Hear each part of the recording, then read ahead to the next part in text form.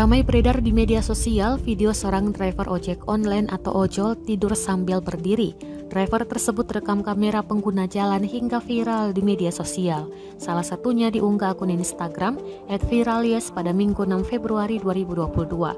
Lengkap dengan ransel delivery, driver tersebut menyandarkan kepalanya pada tiang di pinggir jalan. Dalam keterangan video, disebutkan akibat terlalu lelah hingga abang ojol ketiduran di bawah flyover. Terlihat hujan sedang mengguyur wilayah tersebut. Diduga sambil menunggu hujan reda, sang driver pun tertidur sambil berdiri. Belum diketahui di mana lokasi tersebut.